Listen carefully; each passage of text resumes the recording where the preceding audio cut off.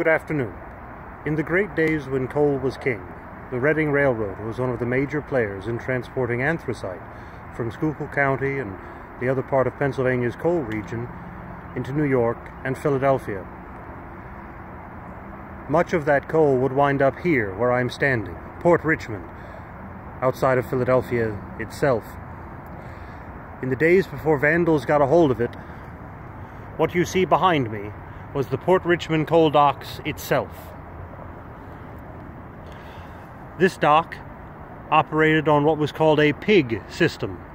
Loaded hopper cars would come up the ramp, pulled by winch, would be physically rotated. The coal would spill out down chutes into waiting transports, barges, and cargo ships. And then those cars would be let go, would roll up this track here. Can you see it? I don't know if the camera is accurately, there we go. Uh, would stop, would roll back down the ramp, down into the yard. This was the terminus of the Great Reading Railroad, at one point to Philadelphia and Reading, and if you ever play Monopoly, you know about the Reading.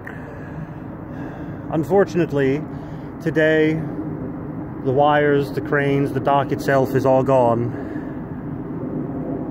And instead the place reeks of spray paint. Vandals have touched every surface with their filth.